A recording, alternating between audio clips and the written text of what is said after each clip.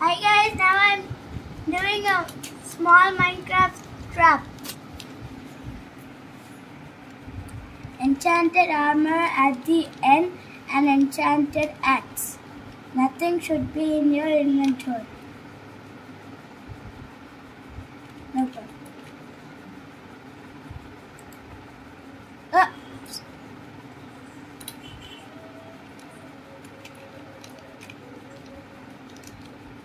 Get the chest! Why, why am I not getting the chest? Eh.